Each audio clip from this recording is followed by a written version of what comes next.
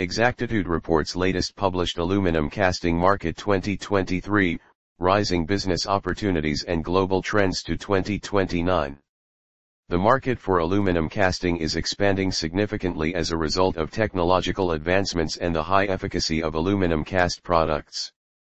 The primary drivers of the aluminum casting market's rise include increased military spending on lightweight weapons, expanding consumer and automotive demand, and industrial development in emerging nations. These are the main variables influencing aluminum casting demand over the forecasted period.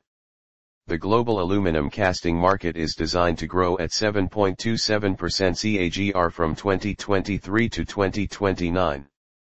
Few of the important aluminum casting market players Walbro, Alcoa Corporation, Consolidated Metco Incorporated, BUVO Castings and many others.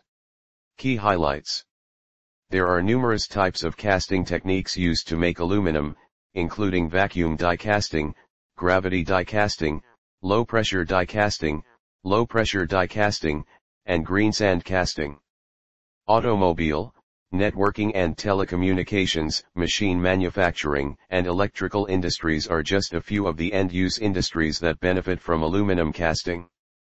The market is expanding as a result of advancements in the automotive industry such electric mobility and lightweight automobiles. Furthermore, the global aluminum casting market segmentation is divided by type and by end users.